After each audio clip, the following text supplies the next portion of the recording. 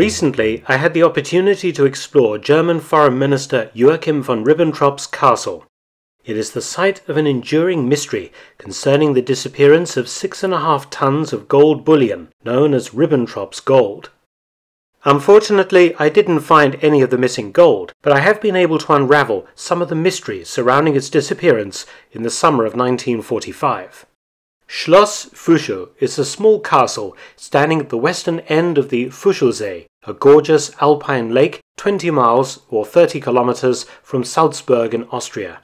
Originally constructed as a hunting lodge in 1450 for the Prince Archbishops of Salzburg, by the 1930s it was in the hands of a branch of the German Thyssen industrial dynasty. The owner, Gustav, Edler von Remiz was a monarchist and an Austrian fascist in opposition to the Nazis. And following the German takeover of Austria in 1938, von Remiz was arrested and sent to Dachau concentration camp, where he subsequently died. The castle was confiscated and was given to Hitler's foreign minister, Joachim von Ribbentrop, by Hitler's secretary, Martin Bormann, for use as Ribbentrop's summer residence.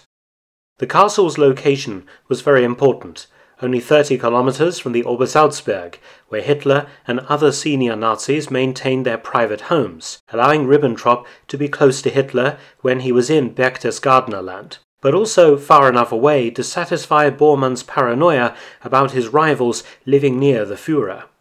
The castle was extensively improved with a boathouse constructed on the lake, as well as a two kilometre long promenade and an SS guardhouse for Ribbentrop's RSD bodyguard unit. The castle was the venue for many important diplomatic meetings in the run up to the war, including the visit of Count Ciano, Italy's foreign minister and Mussolini's son in law.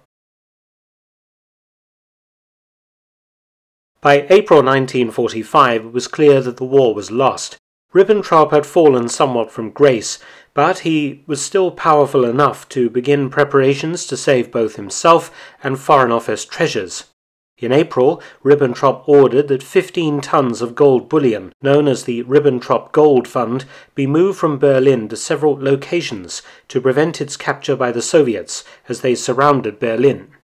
Two tons were sent to Schleswig Holstein near the Danish border, an area subsequently captured by the British.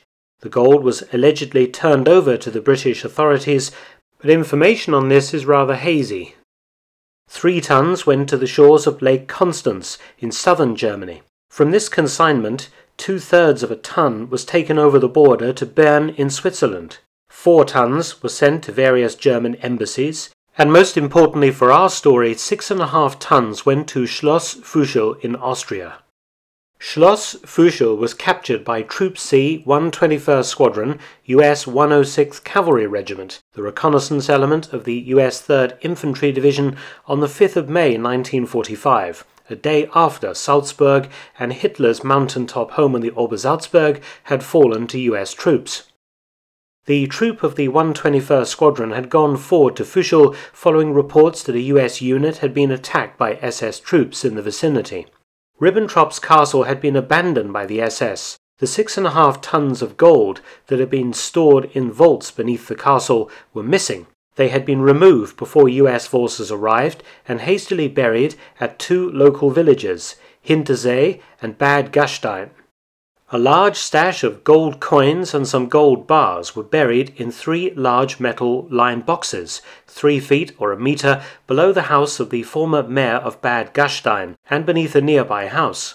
This gold was located and turned over to the US occupation authorities on the 15th of June 1945. Soldiers of the 3rd Infantry Division's 15th Infantry Regiment and 121st Cavalry Squadron loaded it aboard trucks and drove it to Castle Klesheim, the 3rd Infantry Division's headquarters, where it was stored.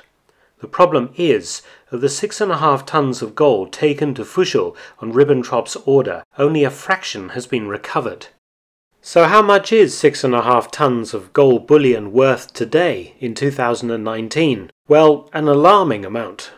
It's 260 million pounds, or about 325 million dollars. There has been some confusion about exactly which parts of the original 15 tons of Ribbentrop's gold have been accounted for. So what happened to it? Local stories persist of SS men dumping crates of gold in Lake Fuschl. This is quite common across the entire Alpine region, and several lakes have become notorious as possible dumping grounds for Nazi treasure and documents and weapons.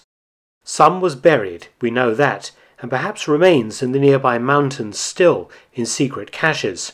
We can also suppose, based on many other examples, that some of the recorded gold disappeared in American hands.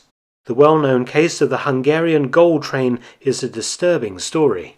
Just before the Americans reached the town of Bad Ischl in Austria, not too far from Schloss Fuschl, a train arrived from Budapest in Hungary, evacuated by the SS ahead of the advancing Soviets. It was loaded with crates of gold and other valuables taken from Hungarian Jews. The contents of the gold train were handed over to the US Counterintelligence Corps, the CIC, who made a careful inventory of the contents and then passed them over to officers of the US Military Government Property Control in Salzburg. At the time, the gold was valued at $3 million.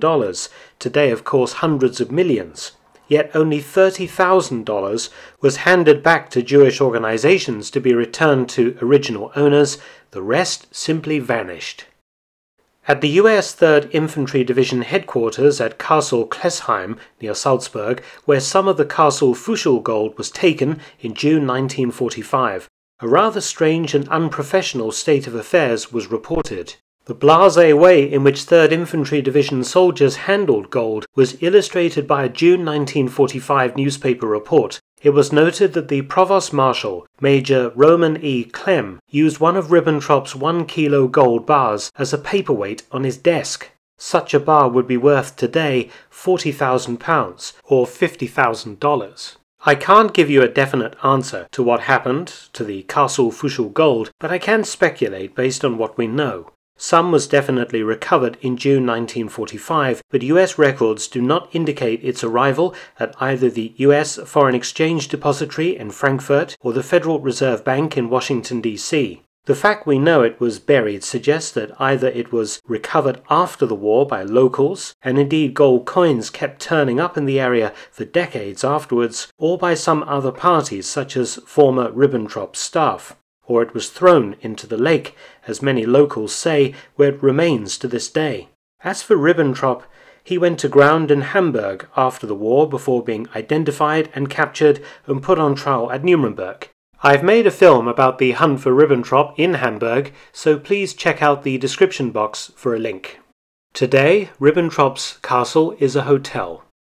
I'll leave you with a tantalizing story in August 2015, a 16 year old German girl was paddling in the Königssee, a famous lake near Hitler's home in the Obersalzberg, when she found a 500 gram gold bar on the lake bed with a value today of £20,000 or $25,000. And she got to keep it. So happy hunting! Thanks for watching, please subscribe and share, and also help support my channel at PayPal and Patreon, details in the description box below.